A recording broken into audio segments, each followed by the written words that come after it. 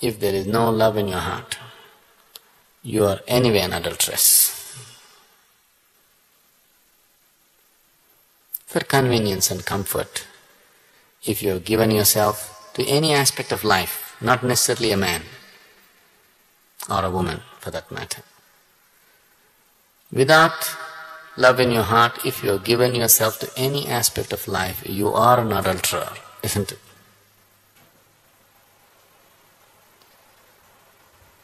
So am I against adultery? Yes, in that sense, yes, with every aspect.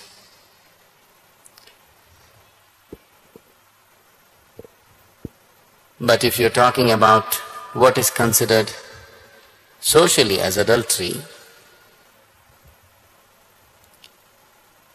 it is individual. And for every action that you perform, there is a consequence. Most people I know, they are not willing to face the consequences when they come. But without facing consequences, they want to have situations that they enjoy.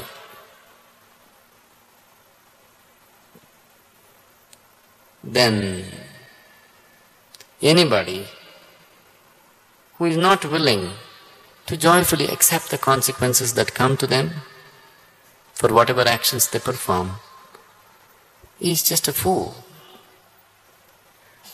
And a fool is somebody who is against himself in so many ways. Anybody who works against himself, anybody who turns himself against himself, or herself against herself, what shall we say about them? So, with your actions, if you're turning yourself against yourself, because you do things senselessly, you're not doing things by choice, you're doing things senselessly, simply because you have given in to a certain aspect of your body or your emotion or something, then definitely it's not okay.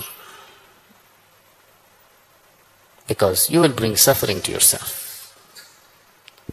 Anything that bring, brings suffering to any human being, especially to himself, is it okay? Anybody who simply goes about bringing suffering to themselves for whatever reason they have, it doesn't make sense, isn't it? I'm not against or for anything. I want you to live sensibly. What makes utmost sense to you, you must do that. Is this wrong? Is that wrong? That's not the point. Are you living your life sensibly? That's the question. Or are you a slave of something and trying to find approval from me for some nonsense that you do? No. I have neither approved any action or disapproved any action. As long as you are, as long as you are behaving sensibly about what you're doing. A senseless life is sin, isn't it? If you live sensibly, in a way that Creator will be proud of you, it's fine. If you've just given into either the ways of your body or your emotion or your mind and going against yourself, it's not sensible. So such senselessness, is it wrong? I'm not even saying it's wrong. It's just very limited and stupid. I have never termed anything right or wrong in my life. But anything that's limited and stupid is not worthwhile, that's all. So I would say adultery is not worthwhile. Is it right or wrong?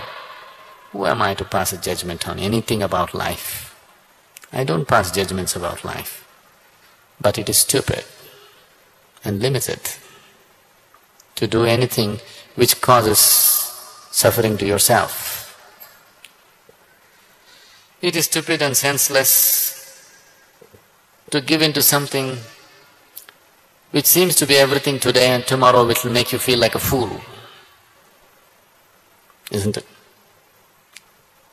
It's, it's stupid to give in to something which makes, makes you think today it's everything and tomorrow morning it makes you look like a fool to yourself, not to somebody else. That is a senseless way to live.